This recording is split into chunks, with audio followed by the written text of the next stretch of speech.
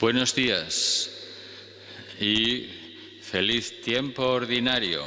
Hemos comenzado otra de las etapas del año litúrgico para que continuemos en nuestra entrega bajo la acción del Espíritu Santo en todas las circunstancias de la vida. Un saludo muy particular a todos los que están en los hospitales, a los médicos, a las enfermeras, a los asistentes sanitarios. Como hijos de Dios, ungidos por el Espíritu y miembros de la Iglesia, vamos a reunirnos para celebrar esta Eucaristía, que es el memorial de la resurrección del Señor. Nos entregamos con Él, vivimos con Él durante este rato para después llevarlo a la vida, para llevarlo a las circunstancias de cada día. Los que estáis también con enfermitos en las casas, los cuidadores, que sois tan importantes, y todas las personas alrededor de ese mundo tan grande que está siempre ofreciendo a Dios sus vidas, los enfermos por todas partes, los que trabajan en los hospitales, en, eh, en la cafetería, ¿sí? las señoras de la limpieza, para todos, buenos días. Vamos a continuar nuestra entrega con esa fuerza que nos da el Señor que con nuestra palabra, con nuestra oración, con nuestros sacrificios, participemos mejor en esta celebración en las que el Señor nos pide que nos conformemos con Él, que seamos consuelo y vida y luz para los demás. En el nombre del Padre y del Hijo y del Espíritu Santo, el Señor esté con vosotros. Hermanos, para participar con fruto en esta celebración, comencemos por reconocer nuestros pecados.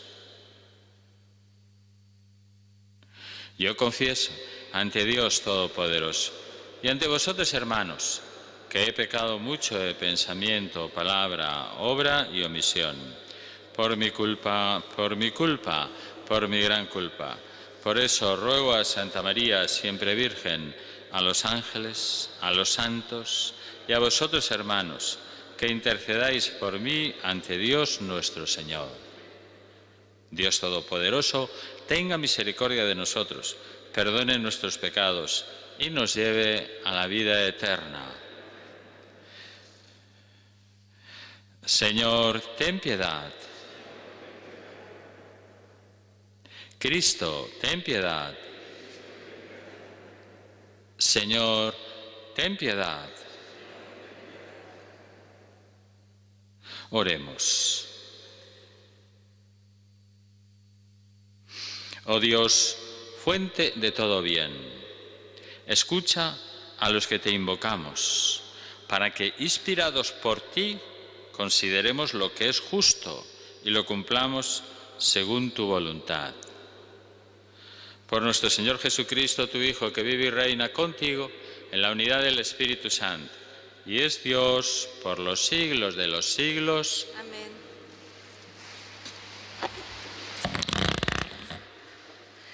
Lectura del primer libro de los reyes. En aquellos días el rey Ahab dio una orden entre todos los hijos de Israel y reunió a los profetas de Baal en el monte Carmelo. Elías se acercó a todo el pueblo y dijo, ¿Hasta cuándo vas a estar cojeando sobre dos muletas? Si el Señor es Dios, seguidlo. Si es Baal, seguid a Baal. El pueblo no respondió palabra. Elías continuó. Quedo yo solo como profeta del Señor, mientras que son 450 los profetas de Baal. Que nos den dos novillos que ellos elijan uno, lo descuarticen y lo coloquen sobre la leña, pero sin encender el fuego. Yo prepararé el otro novillo y lo pondré sobre la leña, también sin encender el fuego. Vosotros clamaréis invocando el nombre de vuestro Dios, y yo clamaré invocando el nombre del Señor. Y el Señor que responda por el fuego, ese es Dios. Todo el pueblo acató. Está bien lo, que propones. Elías se dirigió a los profetas de Baal. Elegid un novillo y preparadlo vosotros primero, pues sois más numerosos. Clamad invocando el nombre de vuestro Dios, pero no pongáis fuego. Tomaron el novillo que les dieron, lo prepararon y estuvieron invocando el nombre de Baal desde la mañana hasta el mediodía, diciendo, Baal, respóndenos. Mas no hubo voz ni respuesta. Brincaban en torno al altar que habían hecho. Al mediodía, Elías se puso a burlarse de ellos. Gritad con voz más fuerte, porque Él es Dios, pero tendrá algún negocio. Él, le habrá ocurrido algo, estará de camino, tal vez esté dormido y despertará.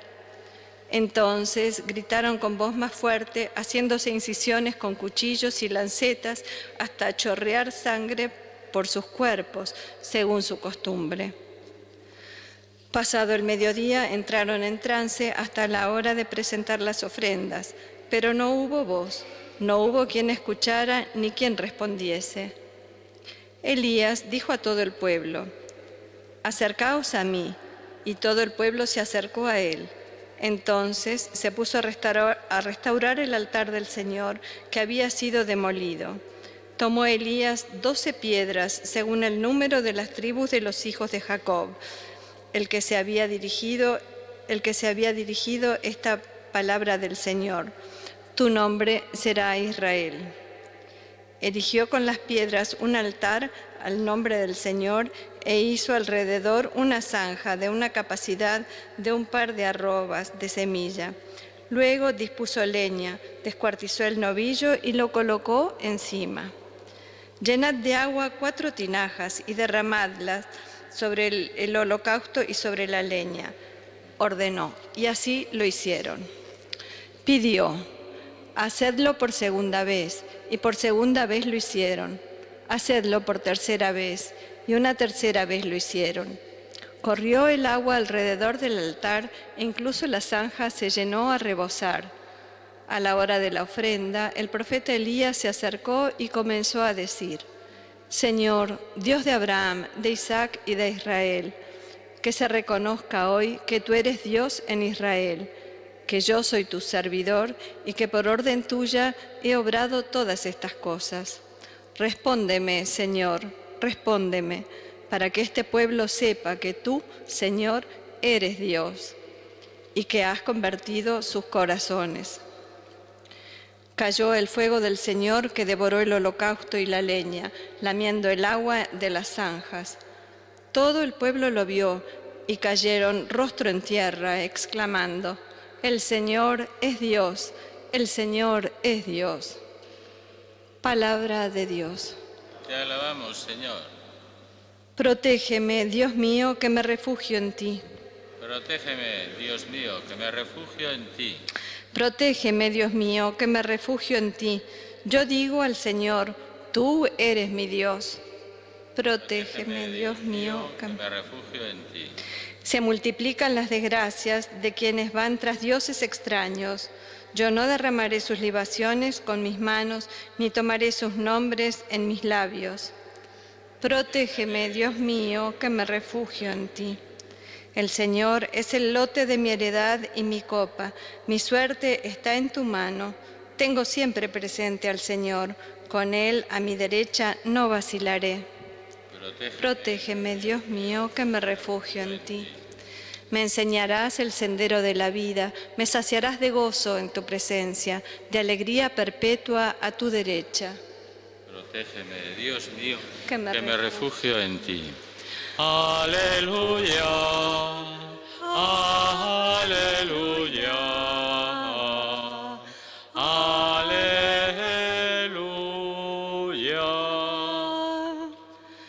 Mío, instruyeme en tus sendas, haz que camine con lealtad.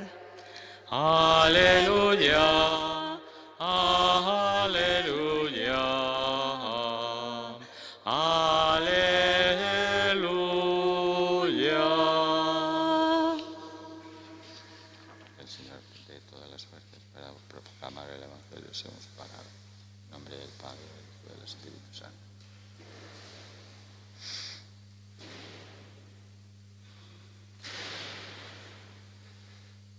El Señor esté con vosotros. Y con tu espíritu. Lectura del Santo Evangelio según San Mateo. Gloria a ti, Señor. En aquel tiempo dijo Jesús a sus discípulos, No creáis que he venido a abolir la ley y los profetas, no he venido a abolir, sino a dar plenitud. En verdad os digo que antes pasarán el cielo y la tierra que deje de cumplirse hasta la última letra o tilde de la ley.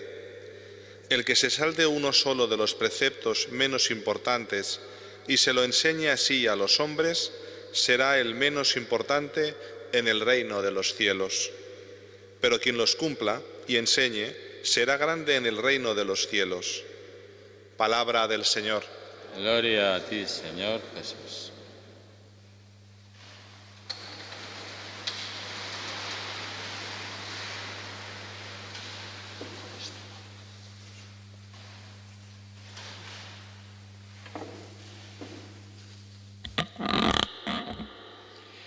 Acabamos de escuchar el Evangelio proclamado por este diácono que viene de Barcelona, Íñigo, para que le encomendéis. Es muy importante rezar por los diáconos, todos, ¿eh? en España y en el mundo entero. Y así recordaremos también a nuestro diácono. ¿Os acordáis de él? Todos los días hay que rezar por él, de esta iglesia.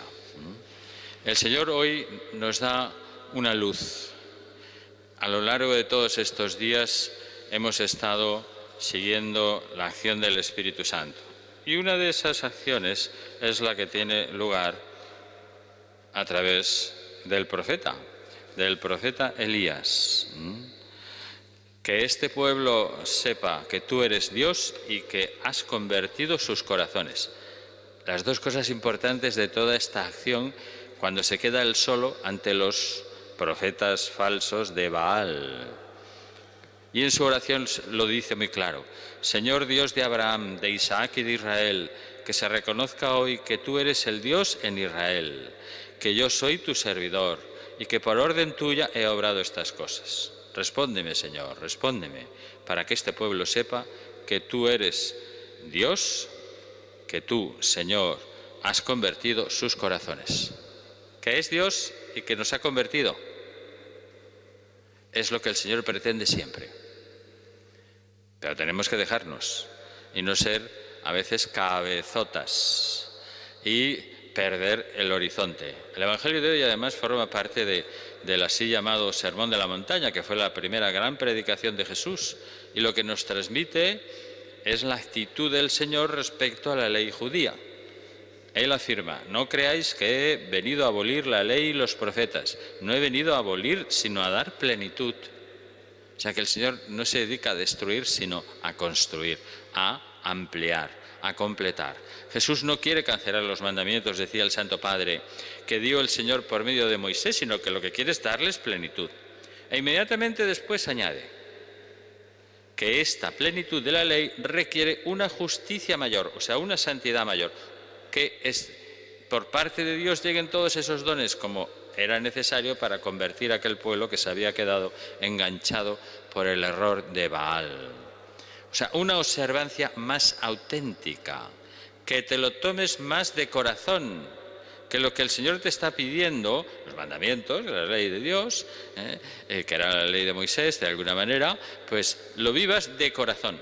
O sea, dice en efecto a sus discípulos, si vuestra justicia no es mayor que la de los escribas y fariseos, no entraréis en el reino de los cielos. Aquella tremenda legislación se convirtió con el tiempo en una carga muy pesada y los mismos judíos experimentaban esa casi insuperable dificultad.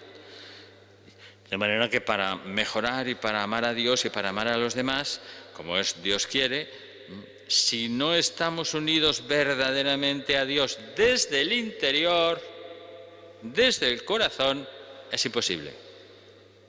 Los actos externos, el culto, los ritos, todos los sacrificios, todo lo que me pasa, lo que pasa en el hospital, lo que pasa con los médicos, lo que pasa con las enfermeras, lo que pasa en las casas, lo que tengo que vivir con mi familia, las cosas que están pasando en la pandemia, el lío que tenemos ahora mismo de tanto, tanto, tanto que hay que estar viviendo y afrontando todas las pandemias, que ya os digo que vamos por siete. Bueno, pues eso tiene todo lo que hagamos, si nos proponemos vivir nuestras novenas, nuestras oraciones, nuestras costumbres, que está muy bien que lo vivamos, pero si no sale del corazón, frente a un simple acto de contrición, una simple y sencilla oración que nace del corazón y que diga, Señor, ten piedad de mí porque soy un pecador, pues se queda en mantillas. Un corazón contrito y humillado, nos dice el Salmo, el Salmo 50, tú, oh Dios, no lo desprecies. ¿Cuántos se habían olvidado de esto en aquellos tiempos y cuántos hoy pensamos que para tranquilizar mi conciencia, pues basta hacer un acto externo, voy a hacer una limosna, o ni siquiera eso, ¿eh? Yo ya he cumplido todo, he hecho el cumplimiento, pero con el cumplimiento no te vas al cielo. El Señor lo que pide es que el corazón tuyo esté puesto en todos los cumplimientos que hagas y que vivas de amor y no de hacer cosas. Porque el, contenido de aquella ley de Dios casi había desaparecido y nosotros la vaciamos. Bueno, yo ya hago un poco de, eh, de, oración, hablo con el Señor un poquito, le digo algo a Dios de vez en cuando, ya tira millas, que ya va, va la cosa. Que no, que no, que no. Tienes que vivir de veras, nos lo ha dicho el Señor. Tiene que ser auténtica tu respuesta. Jesús revoluciona, además decía el Santo Padre, y sacude fuertemente aquella mentalidad que había, mentalidad cerrada, a cumplir hasta la última gota, la última coma, por el miedo y que estaba además recluida en los prejuicios. Él no deroga la ley de Moisés, sino que la lleva a plenitud, declarando, por ejemplo, la ineficacia contraproducente de la ley del talión, ojo por ojo, diente por diente, declarando que Dios no se complace en la observancia del sábado, que desprecia al hombre y lo condena, o cuando ante aquella mujer pecadora no la condena, sino que la salva de la intransigencia de aquellos que estaban ya preparados para lapidarla porque había incumplido la ley sin piedad, pretendiendo aplicar la ley de Moisés. Bueno, nosotros somos un poco así, ¿eh? También. Vamos a mirar un poquito delante del Señor. A mí cuando me pasa eso, tengo una mentalidad cerrada, condeno a todos a la más mínima, soy intransigente, me recluyo en mis prejuicios, pues ahora tengo yo prejuicio a esta persona, a ese migrante, a aquel malo, a aquel sinvergüenza, a esta persona de mi familia, me estoy recluyendo, desprecio a los que no cumplen, o los aborrezco, los descarto, dilapido a cualquiera por cualquier cosa, o más bien lo que hago es aplicar la lógica de Dios, que es la lógica del amor. Jesús revoluciona todas las conciencias en aquel gran discurso que es el discurso de la montaña, abriendo nuevos horizontes para la humanidad y revelando la lógica de Dios, que la vamos a recordar, es la lógica del amor, que no se basa en el miedo, sino en la libertad, en la caridad, en el sano celo y en el deseo salvífico de Dios nuestro Salvador, que quiere que todos se salven y lleguen al conocimiento de la verdad. Y el Señor lo resume también en, otra frase que conocemos, misericordia quiero y no sacrificio. Bueno, pues si el Señor nos está pidiendo con todo lo que pasa una conversión interior, porque ya os he dicho, pandemia, y lo hemos repetido muchas veces, dice, nos habla de conversión, conversión. ¿Mm? Pues para eso hace falta un esfuerzo por interiorizar nuestra experiencia y nuestra relación con el Señor, pero sin dejar de aprovechar todas las riquezas espirituales de la Iglesia. Pues la palabra de Dios, donde nos habla el Señor, la oración, los sacramentos y la ofrenda de nuestras vidas y nuestras enfermedades, los achaques, que son un tesoro estupendo. Sí, pero yo qué concepto tengo de los achaques. Cada vez que me viene un achaque, me pongo de morros y, entonces agarro otra vez, ah, ya otra vez, ahora me viene esto, ahora encima me viene esto otro. Y empezamos a protestar. Jesús nos está proponiendo que le demos importancia, no solo a la observancia disciplinar ¿eh? sino, y la conducta exterior, sino al corazón. Él va a la raíz de la ley, apuntando sobre todo a la intención y por tanto al corazón del hombre, donde tienen el origen las acciones buenas y las malas. Bueno, pues para tener comportamientos buenos o malos no bastan las normas jurídicas, sino que es necesario que mi corazón se mueva y yo de corazón ame, me entregue, viva lo que el Señor me pide, que es una expresión de la sabiduría oculta, la sabiduría de Dios que tenemos gracias al Espíritu Santo. A la luz de esa enseñanza cada precepto revela su pleno significado como una exigencia de amor. ¿Por qué me tengo que vivir esto? Por amor, porque el Señor, al amarme, me ha dicho cómo tengo que amarle. Y todos se unen así, todas las personas, en el gran mandamiento. Ama a Dios con todo tu corazón y al prójimo como a ti mismo. Vamos a hacer y a vivir de verdad todo lo que nos pida el Señor, los mandamientos, las obligaciones personales, las familiares, las laborales, de corazón, con autenticidad. Y ahora todas las dificultades que tienen nuestra situación con las pandemias. Se lo encomendamos a nuestra Madre Santa María. Que amemos de verdad, de corazón. Que así sea.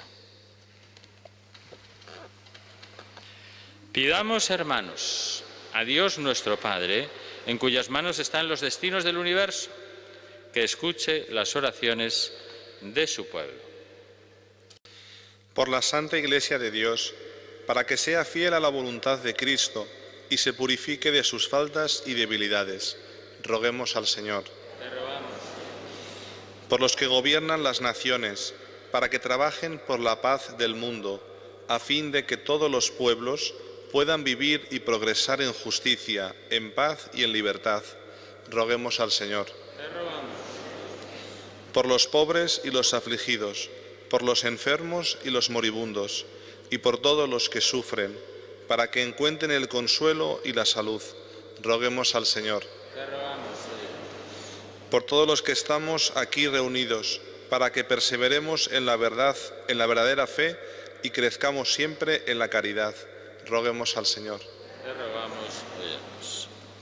Por todos los diáconos del mundo y especialmente por este diácono, Iñaki, Íñigo, para que el Señor les dé los dones que necesitan y vivan su vocación de servicio de manera particular. Roguemos al Señor por todos los que trabajan en los medios de comunicación para que sepan recibir al Espíritu Santo y transmitirlo a través de las ondas, porque siempre dicen la verdad, caiga quien caiga y a pesar de los pesares. Roguemos al Señor. Dios Todopoderoso y Eterno, que por tu Hijo y Señor nuestro Jesucristo nos has dado el conocimiento de tu verdad. Mira con bondad al pueblo que te suplica. Líbralo de toda ignorancia y de todo pecado, para que llegue a la gloria del reino eterno por Jesucristo nuestro Señor.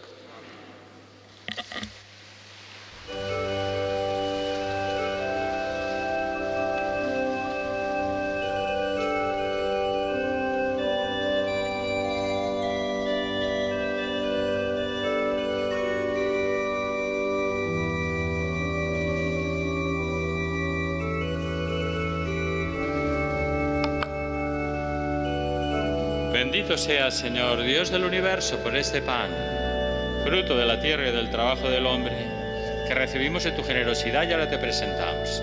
Él será para nosotros pan de vida.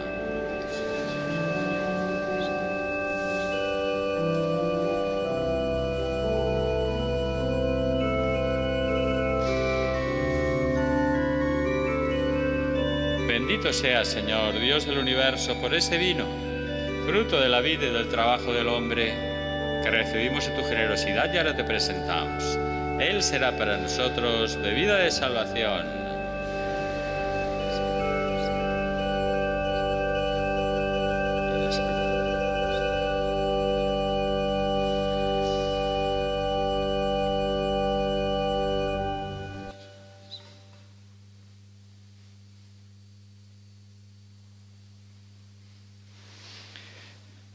momento de ofrecer el sacrificio de toda la Iglesia, oremos a Dios Padre Todopoderoso. Para alabanza y gloria de tu nombre, para nuestro bien y el de toda su santa Iglesia. Mira complacido, Señor, nuestro humilde servicio, para que esta ofrenda sea grata a tus ojos y nos haga crecer en el amor. Por Jesucristo nuestro Señor. El Señor esté con vosotros. Levantemos el corazón. Demos gracias al Señor nuestro Dios. En verdad, es justo y necesario, es nuestro deber y salvación, darte gracias siempre en todo lugar, Señor, Padre Santo, Dios Todopoderoso y Eterno, Pues aunque no necesitas nuestra alabanza, ni nuestras bendiciones te enriquecen, tú inspiras y haces tuya nuestra acción de gracias, para que nos sirva de salvación. Por Cristo, Señor nuestro. Por eso, unidos a los coros angélicos, te alabamos, proclamando llenos de alegría. Santo, santo, santo es el Señor, Dios del universo. Llenos está en el cielo y la tierra de tu gloria. Osana en el cielo. Bendito el que viene en nombre del Señor. Osana en el cielo. Santo eres en verdad, Señor, fuente de toda santidad. Por eso te pedimos que santifiques estos dones con la fusión de tu Espíritu, de manera que se conviertan para nosotros en el cuerpo y la sangre de Jesucristo nuestro Señor, el cual, cuando iba a ser entregado a su pasión voluntariamente aceptada, tomó pan y dándote gracias lo partió y lo dio a sus discípulos diciendo, Tomad y comed todos de él, porque esto es mi cuerpo, que será entregado por vosotros.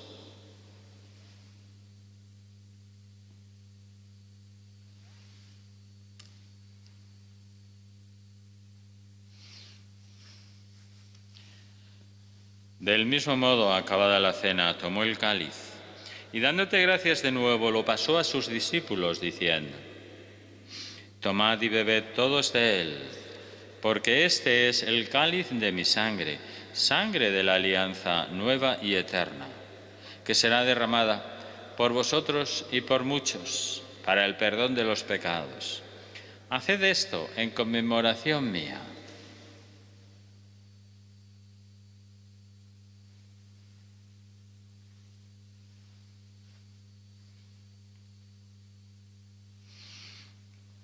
Este es el misterio de la fe.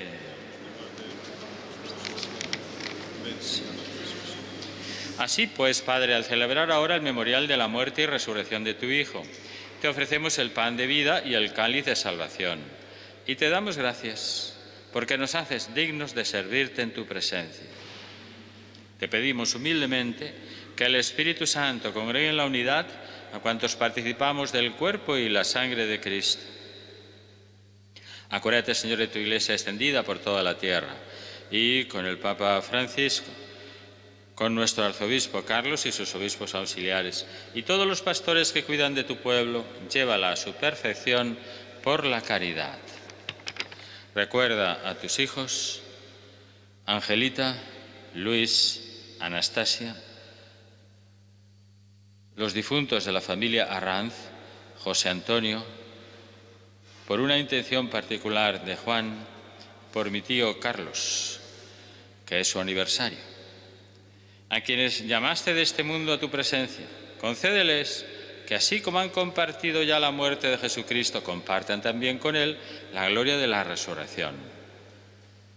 Y acuérdate también de nuestros hermanos, que durmieron en la esperanza de la resurrección, y de todos los que han muerto en tu misericordia admítelos a contemplar la luz de tu rostro. Ten misericordia de todos nosotros y así con María, la Virgen Madre de Dios, su esposo, San José, los apóstoles y cuantos vivieron en tu amistad a través de los tiempos, merezcamos por tu Hijo Jesucristo compartir la vida eterna y cantar tus alabanzas. Por Cristo, con Él y en Él, a ti Dios Padre Omnipotente, en la unidad del Espíritu Santo, todo honor y toda gloria por los siglos de los siglos.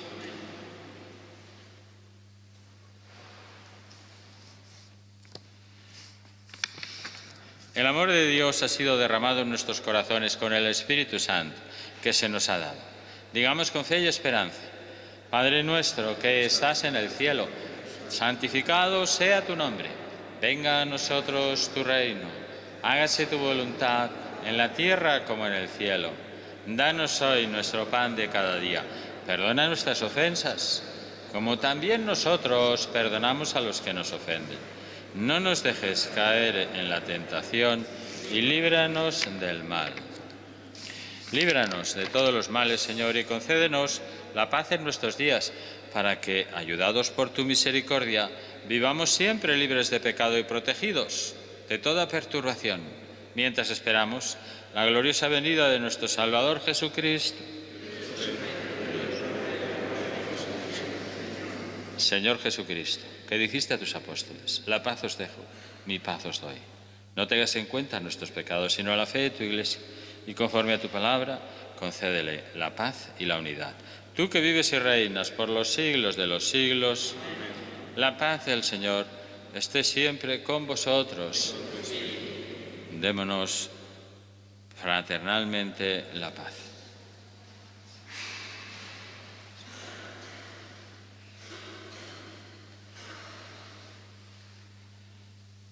Cordero de Dios, que quitas el pecado del mundo, ten piedad de nosotros.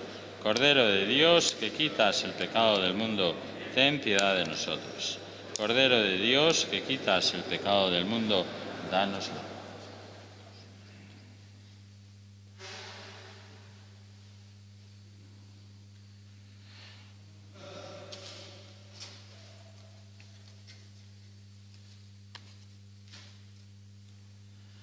Es el momento en que le decimos al Señor que deseamos profundamente de corazón seguir sus mandamientos, seguir sus luces, las que nos envía por el Espíritu Santo. Y aquellos que no le podáis recibir, hacemos nuestra comunión espiritual. Físicamente no podréis, pero en el corazón sí. Y todos los dones nos llegan. Este es el Cordero de Dios que quita el pecado del mundo. Dichosos los invitados a la cena del Señor. Señor, no soy digno de que entres en mi casa, pero una palabra tuya bastará para sanarme.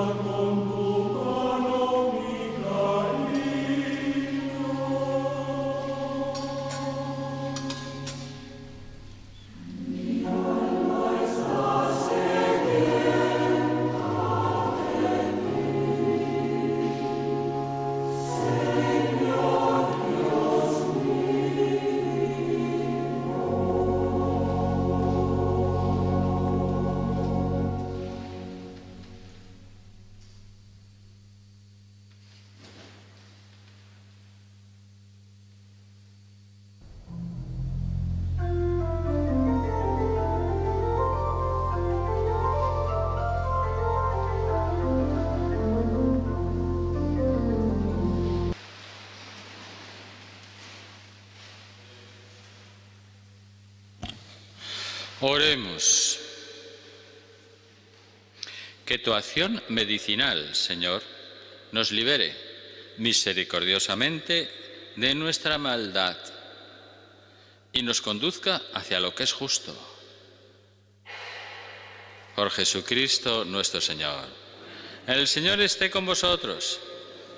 Y la bendición de Dios Todopoderoso, Padre, Hijo y Espíritu Santo, descienda sobre vosotros, para que nuestra entrega y nuestro modo de vivir los mandatos de Dios sea de corazón, vamos a invocar a la Virgen. Oh María, tú resplandeces siempre en nuestro camino como signo de salvación y de esperanza. Nosotros nos confiamos a ti, salud de los enfermos, que bajo la cruz estuviste asociada al dolor de Jesús, manteniendo firme tu fe. Tú, salvación de todos los pueblos, sabes de qué tenemos necesidad y estamos seguros que proveerás para que, como en Caná de Galilea, pueda volver la alegría y la fiesta después de este momento de prueba. Ayúdanos, Madre del Divino Amor, a conformarnos a la voluntad del Padre y a hacer lo que nos dirá Jesús, quien ha tomado sobre sí nuestros sufrimientos y ha cargado nuestros dolores para conducirnos a través de la cruz a la alegría de la resurrección. Bajo tu protección buscamos refugio.